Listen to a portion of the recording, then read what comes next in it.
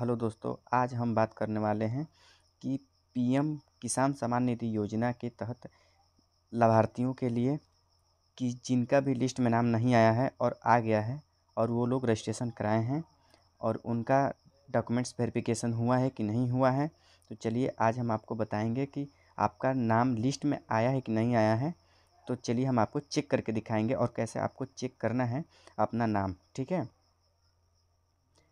तो सबसे पहले इस वीडियो को आपको पूरा अंत तक देखना होगा, तभी आपको समझ में आएगा कि हमें अपने नाम को कैसे चेक करना है। ठीक है दोस्तों तो चलिए आपको कोई एक क्रोम ब्राउज़र ओपन कर लेना है और सिंपल से सर्च करना है आपको यहाँ पर पीएम किसान सम्मान निधि योजना। ठीक है दोस्तों, आपको सर्च करना है। यहाँ पर देखिए आप, हम पहले से ऑलरेडी सर्च कर चुके हैं। ठीक है तो आपको इस पर क्लिक करना है पीएम किसान सम्मान निधि योजना पर। जैसे क्लिक करेंगे तो देखिए फ़र्स्ट ऑप्शन आपको दिखाई दे रहा होगा पीएम किसान। ठीक है, यहाँ पर आपको दिखाई दे रहा होगा पीएम किसान। तो सबसे पहले इस फ़र्स्ट लिंक पे हमको क्लिक करना है, ठीक है? जैसे हम क्लिक करेंगे तो पीएम किसान के पोर्टल पे हम आ जाएँगे, ठीक है?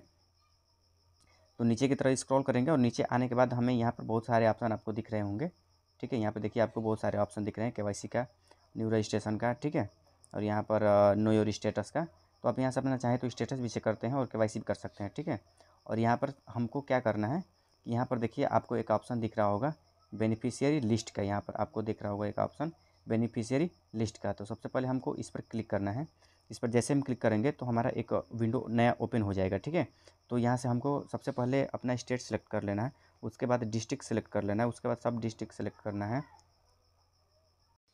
उसके बाद हमें सब डिस्ट्रिक्ट सेलेक्ट कर लेना है। उसके बाद ब्लॉक सेलेक्ट करना है। उसके बाद विलेज उसके बाद हम गेट रिपोर्ट पे क्लिक करेंगे तो हमारा पूरा जो गाँव में जितने बेनिफिशियरी हैं, जितने भी लोगों का नाम है इस पीएम किसान में, उनका सभी का नाम आ जाएगा उसमें और आप आसानी से अपना नाम ढूंढ सकेंगे, ठीक है? तो चलिए हम आपको दिखाते हैं। तो सबसे पहले हम सेलेक्ट स्टेट करेंगे, ठीक है? तो अपना स्टेट स्टेट आप सेलेक्ट कर लीजिएगा। उसके बाद यहाँ से हम डिस्ट्रिक्ट सेलेक्ट करेंगे। डिस्ट्रिक्ट सेलेक्ट करने के बाद यहाँ पर सब डिस्ट्रिक्ट अपना सेलेक्ट करेंगे हम लोग। उसके बाद ब्लॉक पर आएँगे। उसके बाद ब्लॉक सेलेक्ट करने के बाद, उसके बाद देखिए यहाँ पर आपका पूरा गाँव के नाम दिखाई देगा, ठीक है? गाँव का नाम दिखाई देगा, इसमें से आपका, आप जहाँ से हो अपना गाँव को, गाँव का नाम सेलेक्ट कर सकते हैं, ठीक है?